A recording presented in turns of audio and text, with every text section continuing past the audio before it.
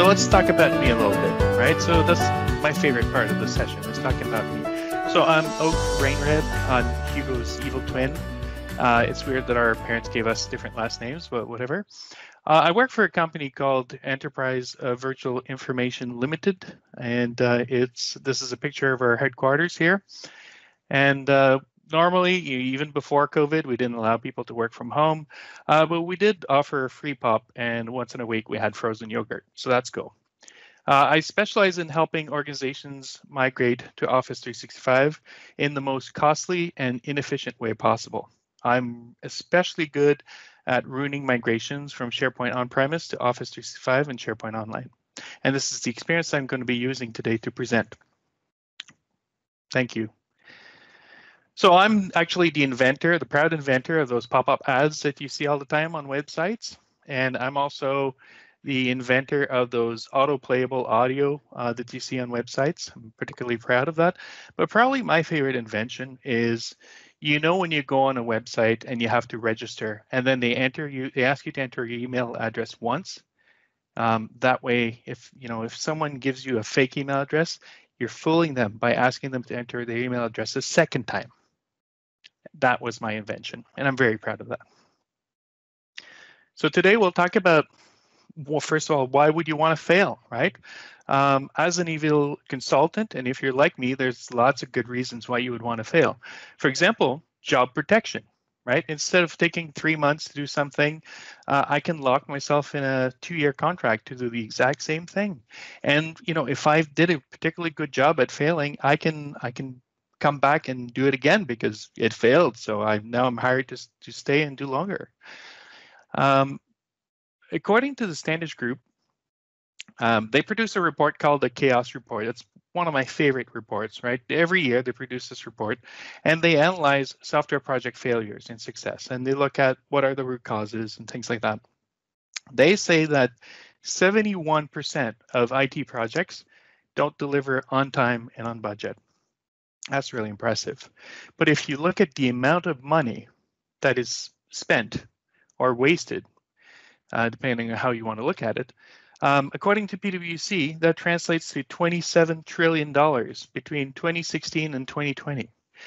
So where does that my money go to? Well, you know, migration projects are IT projects, so part of it goes into my pocket. And you could fail too if you wanted. But what do I mean by failing? And by the way, I don't know if you know what this picture is, but this is a picture that was taken when Steve Ballmer gave a keynote presentation at a Microsoft event. And if you look really carefully, I don't know if I can show you this right here.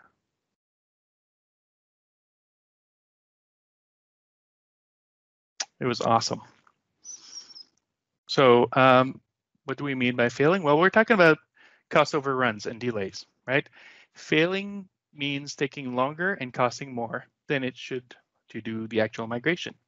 So the guy in this picture is actually an intern who worked with me when we first started the migration for a client. That's what he looks like now.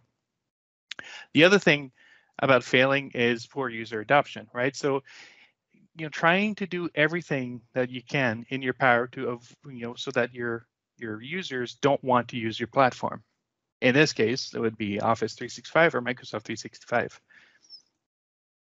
You also, one of my favorite ways of failing is losing data, right? So, and I'm not talking about, oops, I deleted some some stuff like let's go to the recycling bin. I'm talking about losing stuff forever. And it's possible. You could do that, do that too. So how do we fail? And if there's any questions, by the way, I'm uh, feel free to ask the questions. I won't answer them, but feel free to ask them in the chat window.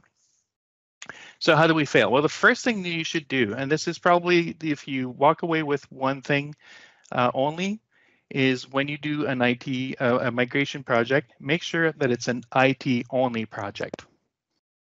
Right. So, because if you think about it, you know, if you start making it involving other people and stuff like that, um, you know, you've got different objectives, right? You as an IT person, you want smooth operations. You you don't want to change a running system. But business, They're all like, I want the freedom and the ability to experiment and to to learn and to drive change and, and to be, you know, to adapt to changes. So that's a huge conflict right there, right? Um, you know, deploying a new Office version and a new uh, infrastructure versus empowering everyone to streamline and transform their business. Um, so we're barely scratching the surface here, right? If we're talking about things like, you know, talking about features versus being user-centric, right? Those are all uh, different things that that people want, and you don't want that. That's just too much trouble. So just make sure that if you can do only one thing, make sure it's an IT-only project. Don't involve anybody else outside of your migration, and don't embrace the change mindset, right? Your job is to protect yourself, really, and protect your job security. So with that in mind, don't involve your users, right? Probably the number one rule to make sure you fail, um, or the number two rule, is is that if you talk to your users, they'll whine, right? They'll talk about the things they don't like about the current system, and they might actually tell you what they want. So don't talk to your users. Whatever you do, avoid them. Don't even let them know where where you work. Um, you know, again you know your users often are, are used to uh, getting to talk to to IT maybe once every three years. And the minute you talk to them and you say, hey, you know, good news, we're going to be migrating stuff for you, they have like three years worth of pent up aggression towards you that, you know, and and and things that haven't worked and they want to talk to you and they're going to they're going to try to include every single one of those things when they talk to you and they're not going to be able to prioritize. They're going to want every single feature known to man. So the best thing you can do is don't even inform your users because guess what? You know better, right? If you talk to your users, again, they'll just whine. It's better to avoid that. Um, you know, they'll if you if you start talking to them, they'll think that you want them to be happy. They'll they'll they won't understand what you're trying to do, right? They might explain uh, to you what they do on a day-to-day basis. And that's boring, right? I don't. I don't even want to know what I do on a daily basis. Imagine listening to people telling me what they do on a daily basis, um, and then you would probably start understanding how they would benefit from using SharePoint Online and Microsoft 365. Um, and what's even worse is that uh, it's been proven that when you ask people for their advice, they're invested in seeing you succeed. So if you ask for their advice, they might actually start understanding um, that you're willing to help them, and they might be willing to to meet you halfway. And you don't want that, right? You want to be able to to be the one that has all the cards, that makes all decisions. Thank you. I see people are writing notes. That's great. Uh, again, I'm looking for questions if you have questions. So with that in mind, don't communicate to your users. Whatever you do, right, keep them in the dark. Um, because, yeah, well, you want to know that you're moving on, you're planning on moving their applications uh, and their files, but don't give them any more information about how, like, about things like timing, or how you're going to do that or why you're doing that. Um, and the, the, cool thing about that is if you let them know that you're going to be doing this, but you don't communicate with them, they're going to make up their own stories about what's going to happen and about how horrible it's going to be. And they're instantly, like in their minds, they're going to make up stories that are even worse than anything you could ever come up with. And they'll instantly start fighting against any migration that you have because they're just afraid of how you're going to change their life and how they're going to have to change how they work. And remember, you're the expert. They're not the expert, so they don't understand you know how you might be improving their lives. So they're coming up with all sorts of crazy stories and that's good. Let them stew. Let them let them freak out about the stories and come up with all sorts of crazy scenarios. And don't explain to them why it'll be more convenient to use the cloud right? Or how the information is going to potentially be going to be more secure. Um, because if you if you do that, I mean, an example of this, I see this all the time, is users that are saying, well, okay, so we had to work we had to work from home because of COVID, uh, but we don't have access to any of the systems.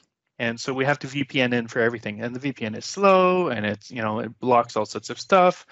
Um, so you could potentially go and explain to them, hey, you know, if we move to the cloud, this is what's going to happen. You're going to be able to access your information from anywhere, and it's going to be super awesome. Uh, but again, you don't want to do that because then they might start enjoying the idea that you're going to be migrating, and that's not good. Remember that users love surprises. If you work in IT, it's probably easy for you to adapt to new versions of software, right? When a new version of uh, Edge uh, adds to, installs to your computer or a new version of Office installs to your computer and the icons move or there's new features, for you, it's probably super easy to adapt to that, right? Or saving your files to a new place. When you go file save as, all of a sudden it's prompting you to save to your OneDrive for Business instead of saving to your desktop. For you, it's super easy for uh, to understand what's happening and to adapt to that.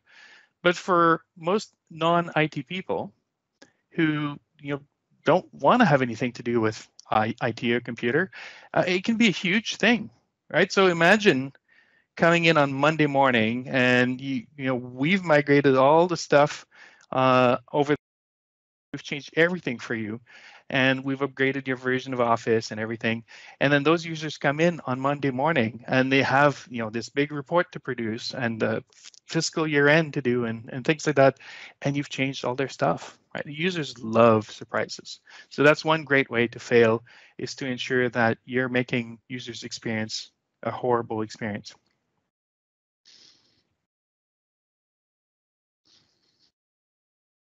One thing that I would tell you don't waste your time on content audit. Now, don't get me wrong. If you want to build people for content audit, that's a great way to not deliver anything uh, and, uh, and, and be able to build for it. But uh, every expert out there will tell you that one of the key you know, things to do when you do a migration is to do an inventory of your content before you plan to migrate anything. what a waste of time. It's, they expect you to identify all the content you have um, so that you'll have to migrate it. So you can plan your migration and find, find the potential issues right? I mean that's where the fun is is when you start the migration and you're able to actually um, you know see all the surprises. Oops there's a new you know i didn't realize we had these types of files and these types of files are no longer supported in, in microsoft 365 uh, or you know hey the version of this the client that's used for this um, doesn't exist anymore and we're not going to be able to edit these files ever again. Those are fun surprises uh, because again, you can always take a project that's supposed to take this long and you're able to charge uh, a lot longer for it. And speaking of, you know, bad things, status quo is actually a good thing. That's actually funny. I have that exact same outfit. Um, so if you're working from uh, SharePoint on-premise to a SharePoint Online, uh, you probably have files from a few years ago, right? In some cases, you could have files from like 20 years ago. And experts will tell you that it's you shouldn't migrate everything. Uh, that you can't. You, you should identify the content that has no business being migrated because of retention rules and privacy rules and everything. Uh, because you know, again, the experts they say that uh, most business evolve to meet uh, changing business needs of the organization, and their document structure should should evolve the same way. I just lost my clicker. Um, so I say you should move everything exactly as is, right? Including it doesn't matter if there's duplicates of files and if there's folder structures that are like 17 folders deep it doesn't matter. You should migrate it as is. Again, don't listen to the experts that tell you that you should analyze everything and start planning. Um, that's just that's just not the right thing to do. Now, if you're lucky, uh, you can even get another engagement to go through a whole cleanup process. So you're actually billing twice for the same project. This is wonderful, right? Uh, you, you get paid to do more. And probably one of my favorite things about this is that if you're lucky, when you migrate your files over to uh, Office 365, you might actually have file paths that are longer than what's supported by Office 365 because you have you have URLs uh, that are sites within sites within sites within sites, and then libraries, you know, and then folders and subfolders and subfolders, and then people will create file names that are that have like, you know, um, March 31st, 2019, version one, final, final dot XLX, S, uh, whatever, doc or docx or PPT. Uh, that's great because it makes super long, long file names that you might be able to upload them to uh, to Microsoft 365 because Microsoft 365 now doesn't let you upload documents if the path is going to be too long, and the path length is about 400 and something characters. I can't remember, but the great thing is that even though the files are uploaded, sometimes when you try to download the files, uh, you can actually uh, the clients on your Windows desktop might not be able to deal with a file path that is longer than 255 characters. So that's great because now you're uploaded doc uploading documents. Users can see the documents, but when they try to do anything with those documents, they open the document and it says, oops, sorry, I can't open this document. And then guess what? The users freak out because they think that their documents are broken and they're destroyed and they start escalating and freaking out. Uh, so this is just a pleasant surprise when you have extra uh, long file names. Again, you know, you could listen to the experts and say, well, I'm going to look at all the, the file path structures and I'm going to try to uh, to narrow that down a little bit so that we don't have super long file paths. Or you could uh, you could do what I do and just embrace the long file names and the long paths uh, because again, it'll keep you busy. Uh, so we have a question here by Kathleen. Uh, how would you improve on user buy for migration, especially from on-prem to online? and and paths. Uh, so I, I, and Kathleen, I don't think you can unmute, so I'll try to interpret the question here. Um, so I'm not an expert at helping people buy in, but um, you know some of the things that some experts uh, would would talk about again is is identifying uh, the value that's in it for them, right? So experts always say, ask yourself as the as the users, what's in it for me?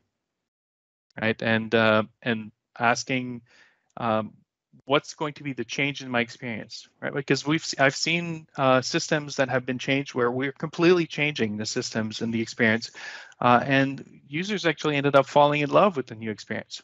Especially when you start talking about using things like Teams and things like that, right? Uh, or the new look and feel of SharePoint. And as Chris Kent pointed out, right, the ability to use things like uh, the lookbook to make sites that look great, um, again, that's if you want to be successful. I'm only talking about what's not successful.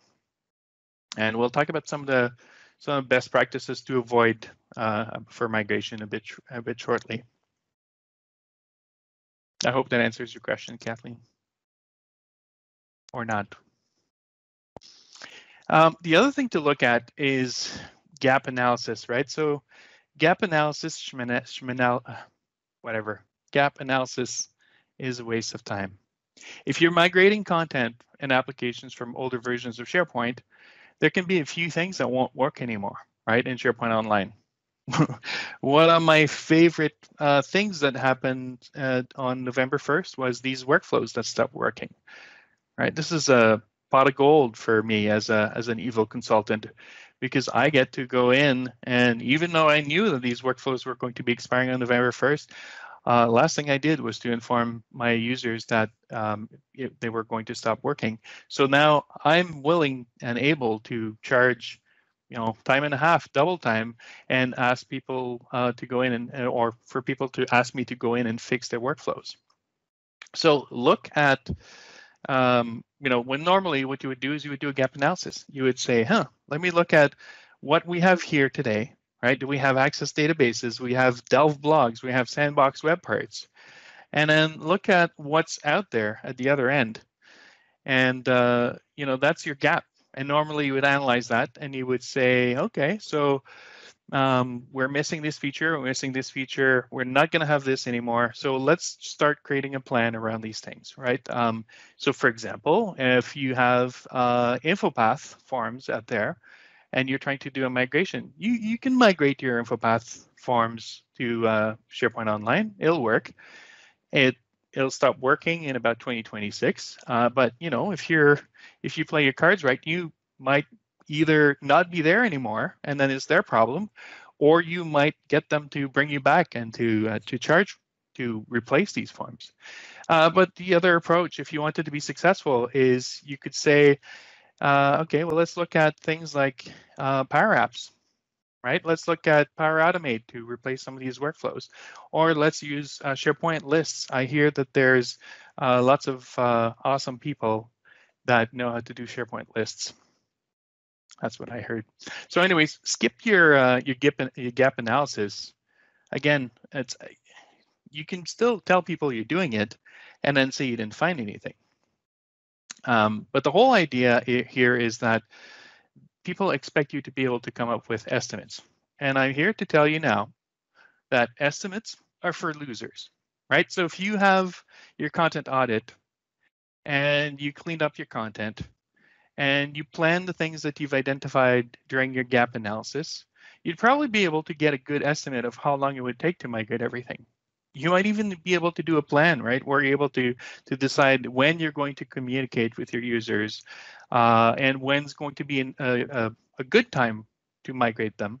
Because again, remember the accounting department, they have like the the the quarter end that they have to prepare, the fiscal year end that they have to prepare. Um, you know, so if you were planning and you were doing estimates, you would be able to talk to them and try to figure out, okay, well, let's do this where we have the least impact possible. But of course, if you're an evil, evil consultant like me, uh, you would try to coordinate that so that you're uh, giving them uh, the most trouble possible. Uh, again, if you have a plan, um, you know people would even know when to expect their stuff to be migrated, and they might actually even hold you accountable for their migration. So whatever you do, don't do uh, don't do estimates. If they want timelines, tell them whatever they want to hear, uh, so they can leave you alone. Right? Tell them two weeks. That's the standard uh, answer. Two weeks, and then come up with something like, "Oh, I didn't realize that you had file paths that were too long, uh, so that's going to be another two weeks." Right? And honestly, once you've started the migration, they can't stop you, can they? I'm just looking for questions here. Yes, uh, Kathleen. Kathleen, you're my new favorite expert uh, evil consultant. Uh, Kathleen is saying, uh, keep things behind the scenes until you're ready. That's right. And uh, speaking of keeping things behind the scenes and not doing analysis, don't waste your time with migration tools, right? Migration tools, uh, there's lots of amazing migration tools there. There are some that are available for free, like the Microsoft, uh, the SharePoint migration tools. it's actually quite good. And I don't know when the last time you used the SharePoint migration tools, uh, but it's actually been improving, right? And the versions that they support, they're constantly adding more and more versions to support, as well as dealing with things like, uh, you know, changing the types of uh, pages to modern pages and things like that. And there's also some free tools available uh, in the, the patterns and practices team that allows you to modernize your sites and your pages. And that's available to you as well. But again, if you use those tools, then you know it's all stuff that's happening pretty much automatically and for free, and that's not good. Now, there's other tools that are, uh, I would say, even better that you you have to pay for. Uh, tools like uh, I think Kathleen is saying she uses ShareGate, so ShareGate is a great example of that. But here's the thing, right? When you're when you're paying one of the migration tools uh, for a migration tool, your client is really giving money that they should be giving to you. So don't use migration tools. Um, again, they would make they would make you they would do your job for you, and it makes you look bad. And you know the other thing too is these migration tools they can analyze your content. They can give you all sorts of reports that will tell you what will break and what will migrate successfully. And they might even give you estimates in terms of how to do your delta migrations and things like that. So it's much better. My approach is copy everything from scratch, right, by hand, and then make sure that you mess up the author and things like that, uh, because that's the the greatest way. Now people are confused about which documents uh, are new and things like that, and and the picture that you see here behind me um, or in front of me, whatever that picture is, uh, on the slide is is actually one of the first migration plans that they found in uh, uh, for SharePoint migration in one of the caves, and it was done by hand. And I I hear they're almost done with that migration. Uh, so that's that's the idea, right? Imagine the guy that the, the guy or girl who gets to do this migration gets to bill for a migration by hand. Um, now, again, keep in mind that you know the other thing that you get to do with with migrating things by hand is because you're messing up like the date modified and the date created and the things like that. There's there's going to be all this information that's bubble up at the, that's going to bubble up at the start of the of the the site that users have forgotten about for years and years and years because they have this old content and now it shows up as as new content and well the other good good thing too is you can actually use uh, custom PowerShell scripts every single time. Uh, Sherman I like your I like your initiative. Yes you can actually uh, that's great. You can you can charge your client to write a custom migration script every single time and that works too. Now uh, in terms of creating uh, custom PowerShell migration scripts, it's something that we should talk about because if you know some experts will say that if you do a migration and you're you're writing a custom migration script, uh, you know one of the cool things that you can do is you can actually do it so that your migrations are consistently done every single time. Right? I know some people have used uh, ShareGate exposes some PowerShell scripts, so they've used the PnPjs uh, not the PnPjs, the PnP PowerShell. They've used the, the Office 365 PowerShell and the ShareGate PowerShell to automate everything. And again, if you're trying to succeed, that would be a great thing because it's consistent. You can test it as many times as you want, and you're not introducing any variables. But again, our goal here is to fail. So you want to introduce as many variables as possible every single time you do a migration. Because then, you know, if you're actually charging your clients to do a test migration, and a production migration, you get to charge double. And if you introduce new variables at every time, that's great.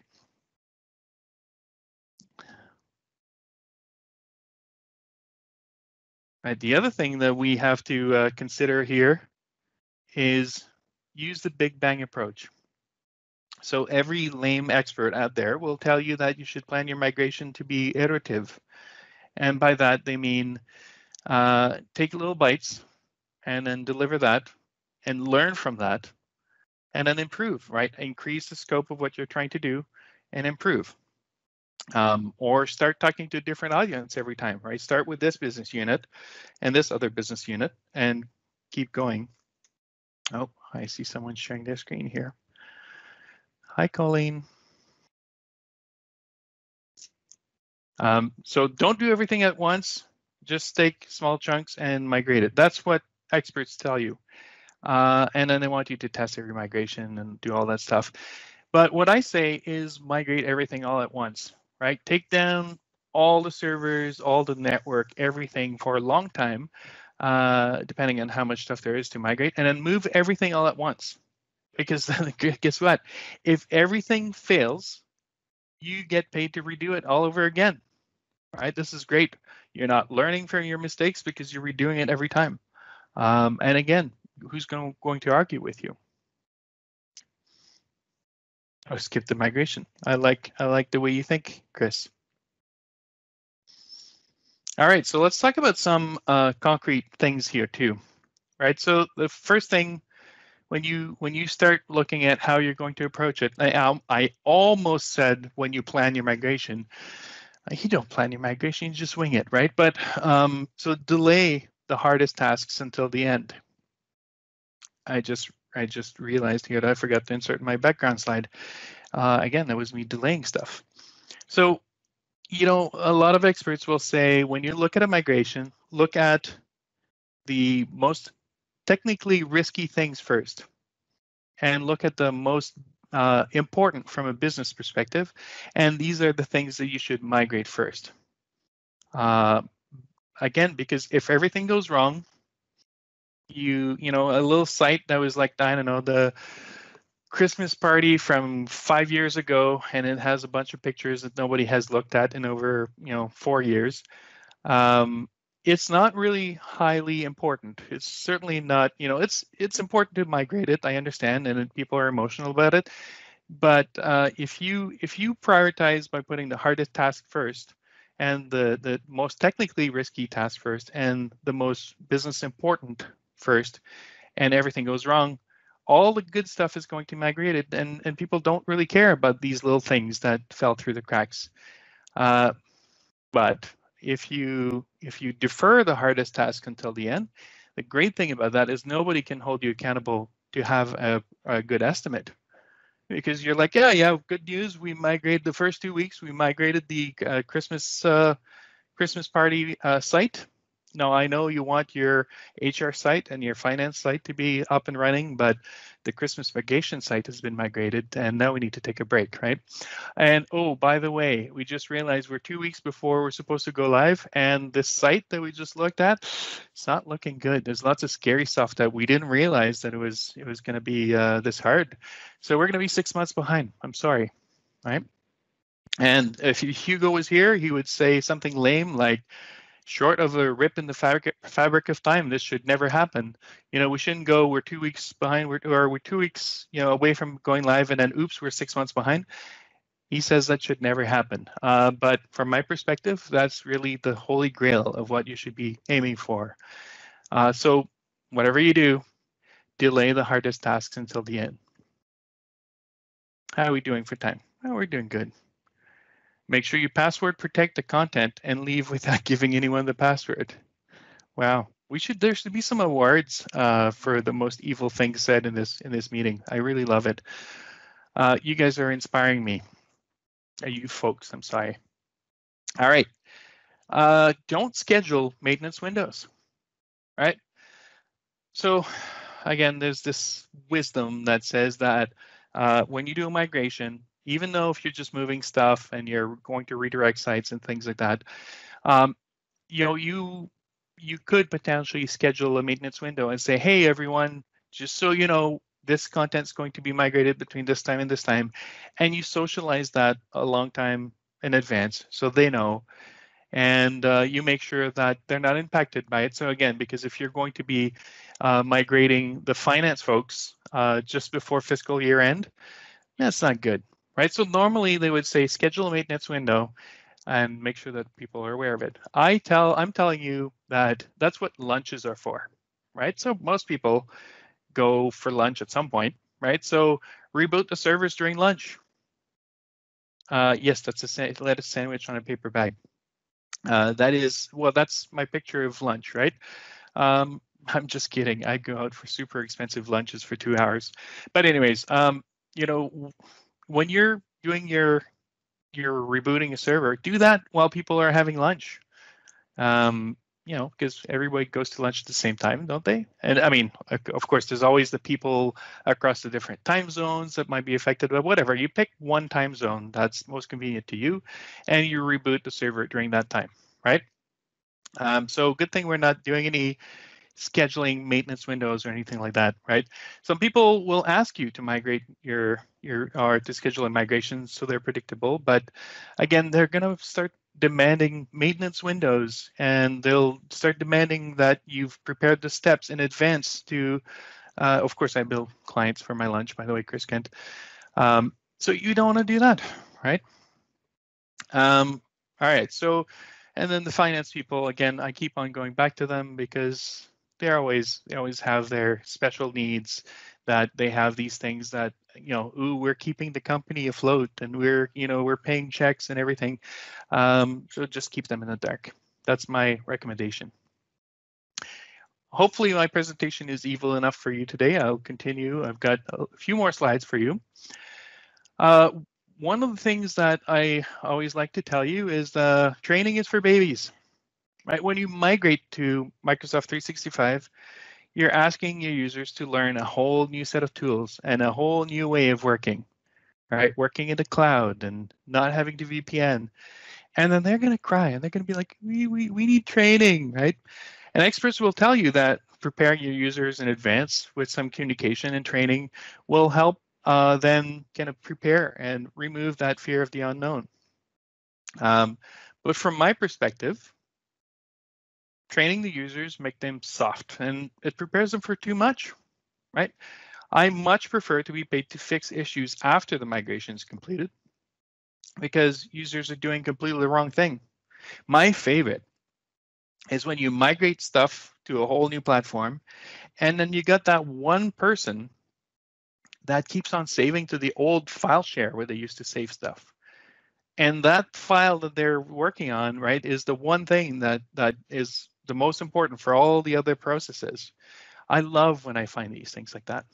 Now, again, there's all sorts of ideas out there, like people saying, you know, uh, migrate a site and then mark, mark the site as read-only, the, the original site is read-only, or the file share is read-only, put a shortcut so that people know where the file is, because maybe they have short, they have themselves a shortcut and uh, or bookmarks or things like that. So help them, right? Not just not just with training, but also uh, predicting that they're going to do the wrong thing uh, but again, my favorite thing is let them fail, let them freak out, or let them not realize that they're failing, which is even better because then you get paid to go back and fix issues and um, you know recover things. Um, and then one-time training, if you have to do training, I guess one-time training, you know, will do. Like train everyone at the same time, regardless of what business unit they're from uh, train them all together at one time, and then just don't give them a chance to retrain again or miss the training. Uh, and and throw technology to people. Um, that's I mean that's how you teach people how to swim, right? Uh, so throw uh, throw technology at people and let them figure it out. By the way, governance is more trouble than it's worth. I once used to work with probably one of my heroes. Uh, she was a CTO for a large company. And she used to say that governance is for when you get in trouble, right? When you run in trouble, and this is a true story, when you run in trouble, that's when you start worrying about governance. Other than that, governance is more trouble than it's worth. And I agree with that. Uh, again, a lot of people will tell you, oh, governance is important, and you know, uh, you need to look at all sorts of aspects of governance. Like, you know, it's not just one approach to governance. There's there's content uh, governance, there's uh, you know development lifecycle governance. There's all sorts of governance that comes into play here. Who's allowed to create apps? Who's allowed to create power apps? Who's allowed to create sites and things like that? Um, that's more trouble than it's worth, really. Don't think about it until until you run into trouble, and then come up with an excuse on the fly.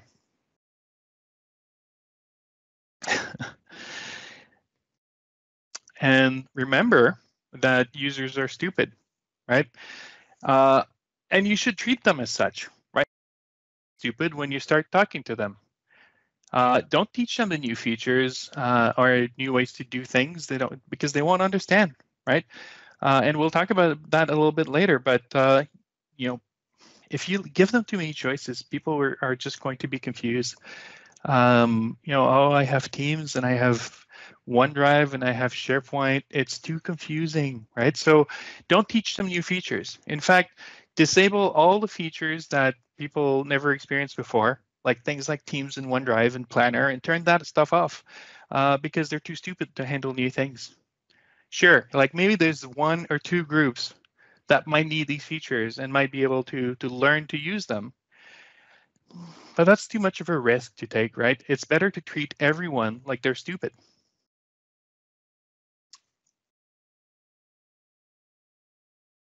And by the way, champions are more troubles trouble than they're worth. So champions are again in all the boring migration blogs and articles that you've read out there. They talk about establishing champions. Like so, find people in your organization who are suffering, right? They're they're dying. They have uh, they need to solve a problem, and your migration might just be the thing that would help them. And they're going to be willing to run into whatever issues you have, uh, to find all sorts of bugs and things like that because they're suffering and they're willing to do this. And normally, what experts will tell you is find the loudest person out there, right? The most opinionated person that will affect, that will influence everybody else, and make them your champions. Because if you can talk to them and if you can get them to buy into your migration, and you get them to use your uh, your tool, uh, they will do the work for you. They'll go out and they'll convince everyone else, right? Um, so don't don't do the whole champion thing. It's uh, it's actually even better if you can keep those loud people in the dark, surprise them. And now the cool thing about that is those loud people are all, often the ones that are uh, the quickest to make uh, an opinion and make up stories about how how bad this migration is going to be, and and they often have the ear of of the executives out there if they're not executives themselves. Uh, so you know by not identifying champions and by keeping everyone in the dark, you're letting them kind of introduce trouble in your migration, and it's awesome. And I'm trying to follow up the chat here, and I'm, i must admit I've lost I've lost you here. Um, so speaking of champions, there's something called dog fooding, right? Eating your own dog food, I think, is the expression. So this comes from a, an old ad. I think it was an Alpo ad where the president of Alpo, to demonstrate the good quality of the dog food, uh, the president would actually eat the dog food himself. And then, of course, he would he would say, if it's good enough for me, it's good for for my dog. Um, in IT, and especially I think Microsoft is is famous for for using the expression of dog fooding. In IT, we're referring to dog fooding as using the tool that you're building to deliver the tool. All right. So, for example, if you're doing a migration to uh, Microsoft 365, and to you're doing a migration to um, you know to show people how to use things like Teams and SharePoint. Uh, dog fooding would mean use Teams, use a SharePoint site, right? Use the features of SharePoint to actually tell people how it works. Like talk, start with your champions, get them involved, and then show them. See how cool this is, right? And see how you know. Let's not go and manage an Excel spreadsheet in a file share somewhere.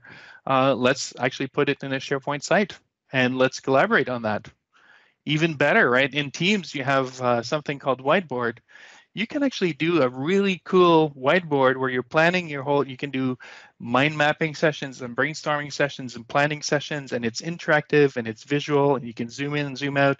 Uh, that's really cool. And i can tell you that when you start getting people to to use the tool that you're migrating them to to do the migration they're going to be sold. They're going to be in love with it and they're going to they, they won't like they won't be able to wait right? They'll want to use your tool and they'll want to migrate and they'll want to tell everybody else how cool it is. And you know and again this is all a bad thing but the other thing they'll do is they'll actually go and and tell everybody else how awesome your new migration is and your new tool is. And everyone's going to expect everyone's going to be like ah not fair i want that too please migrate me. So don't dog food stuff because again you're setting a precedent. Keep them in the dark as much as possible and speaking of Teams, Teams is just a fad. So Teams is just one of those things that, you know, it's just it's just a client that allows people to do all the collaboration in one place, right? I mean, really, from my perspective, Teams is just a fancy chat window right? But uh, a lot of people think otherwise. They think that Teams is really the, the modern way of collaborating and that more and more you'll be able to access all tools in one place uh, and give users kind of that, that one awesome experience that they, they can fall in love and it's a mobile experience and it's a it's a you know it's it's a remote experience as well and uh, that's great but that's just a fad so don't fall for it uh, avoid teams as long as you can. Um, don't let people teamsify projects or, or sites or anything like that. Uh, block it if you can, really. Um, yes, so let's talk about some bonus wisdom here. And I left some uh, yeah, Jamie, uh, I'm uh, I'm sorry, you probably joined the wrong presentation. Um, this was supposed to be how to succeed uh, migration. However, uh, I'm uh, Hugo's evil uh, twin brother, and I'm actually taking over the presentation. I'm teaching people how to fail migrations. Thank you. So bonus wisdom. Um, you know, so we have a few more minutes. Let's go through this. So the first thing, and my favorite thing as a consultant, as a way to uh, to charge your customers more money is rebrand SharePoint completely. Like if it still looks like SharePoint, you're doing it wrong. Uh, you want to make sure, uh, first of all, most importantly, right, you want to go into your SharePoint site and you want to make sure that the company logo occupies like the most area possible on top of the page, right? Because people might forget who they work for, right? So like slap a giant logo right there at the top of the screen so that people have to scroll to see relevant content. Um, and then, you know, the cool thing about this is that Microsoft, if you go in and you completely change the CSS and the HTML and you inject some JavaScript and and basically do things that Microsoft says is not supported, uh, you can actually go in and you can break SharePoint in a way that because the, the SharePoint team can actually release new features every week. That means that if you're playing it your your cards right, your clients might call you every week before they need you to go fix their custom branding. Right? And and this is one where I don't think you'll have to fight with your clients because a lot of clients will always be like, oh, it must have our corporate colors, uh, you know, or or uh, and forget things like accessibility and things like that, right? Or our carpet colors are uh, yellow and slightly lighter yellow, right, on white background. Uh, so I know it's a low contrast thing for accessible people, but it's our corporate brand, so we must keep to these colors. And uh, you know, ignore all the research that Microsoft has done in terms of contrast analysis and accessibility and things like that, and legibility. Use your custom fonts, use your custom colors, and rebrand SharePoint completely. And speaking of rebranding, uh, you know, the other thing that you can do is waste valuable time trying to rename SharePoint.com, right? Um, because remember, users are stupid. If if your site is called contoso.sharepoint.com and they work for the company called Contoso, they won't understand what that means. They won't understand that, well, what do you mean? It says SharePoint.com. It doesn't say Contoso.com. I'm all confused, right? So I highly encourage you to waste precious time uh, and your client's expense, of course, uh, to find ways to rename um, it to something like SharePoint.contoso.com. Now, there's a rumor out there that Microsoft will soon allow you to uh, create vanity URLs um, so you'd be able to, let's say you made a mistake when you created your tenant, and uh, now that's the URL you're stuck with. Now you're called, you know, Contoso Inc. dot SharePoint.com. There is a rumor that Microsoft in some future will actually allow you to rename uh, your site and your tenant. Uh, but uh, no, it's actually real. It's this is a real thing. I'm not being sarcastic. I mean, have I been sarcastic the whole time? Uh, no, it's a real thing. There is a rumor that it's going to be happening. Uh, however, don't tell your customers that because if it's just going to be a feature that you're going to be able to rename uh, tenants, um, you know, you don't get to bill your clients for that. And then we've talked a little bit about this, but you want to disable all the features you don't understand, right? Again, I don't need to talk about this too much, but like if you don't understand what Power Apps does or Power Automate or, you know, To Do, disable it right? Because if you can't understand it your users can't understand. And especially because if you do you might have to get involved with some kind of um, uh, governance process. All right last few things right? So uh, my probably my favorite thing is uh, in terms of evil things to do force every single person to go to your homepage no expression no no exception whatsoever right? Um, and experts will tell you that if you design SharePoint to meet the user's needs, they'll automatically it'll automatically become the first place where they go every day. And if you use Teams, it'll automatically be that one thing that people want to spend their day and and do their work. Uh, the best thing to do is force people for their browser to launch to your company's homepage every single time. Uh, and that way, because that's the only way they'll get your company news, right? And that's the only way they'll see your company information. Now, experts will tell you that there's such a thing as banner blindness, and people will instantly turn off their brain and not pay attention when you show them that stuff. But what do they know, really, right? Yeah, redirects for the win. So I'm just going to skip this one. I want to thank everybody for listening to me. Obviously, there's a lot more, uh, you know, evil wisdom that I have to share with you, but that's all the time I have.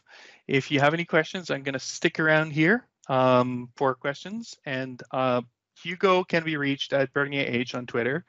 And you can read the, my his blog at his, this is hard harder than it seems. Uh, you can reach Hugo Bernier at tahoeninjas.blog. Thank you, everyone. Have a great day. And I'm sticking around for questions.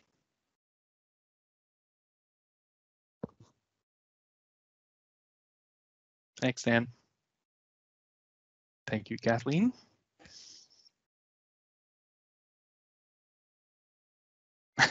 let's go. Let's go run some migrations. Yeah, you're right, Mohammed. Thank you, and thank you, Susan.